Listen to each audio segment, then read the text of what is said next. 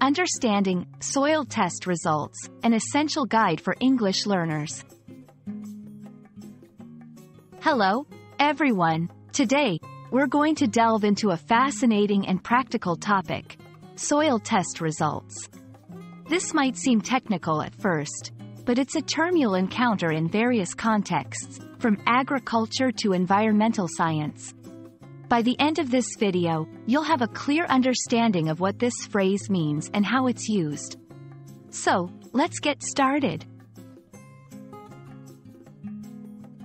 Soil test results is a compound noun made up of three words. Let's break it down. 1. Soil. This refers to the upper layer of earth in which plants grow. It's a mixture of organic matter, minerals, gases, liquids, and organisms that together support life. 2. Test. This word suggests an examination or analysis to discover something. In this context, it implies analyzing the soil. 3. Results. This denotes the outcome or findings of a process or action. Here, it refers to the information obtained from the soil test. So, soil test results collectively mean the information or findings obtained from analyzing the soil. Understanding the importance of soil test results is crucial. 1. Agricultural significance. Farmers rely on these results to determine the health and fertility of their soil.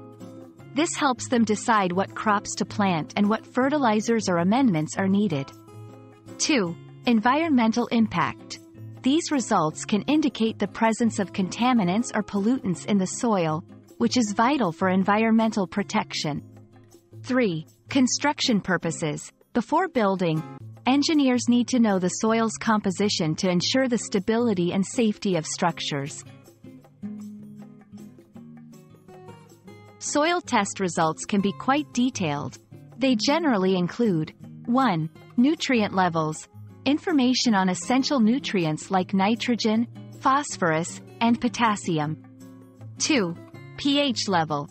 This shows how acidic or alkaline the soil is, which affects plant growth. 3. Presence of contaminants, such as heavy metals or chemicals, which can be crucial for environmental health.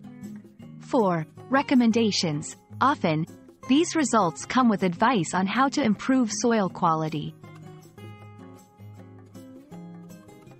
I hope this video has shed light on the meaning and significance of soil test results. Whether you're a student, a gardening enthusiast, or just curious about the world around you, understanding this term can be incredibly useful. Thanks for watching, and remember, every bit of knowledge helps us grow.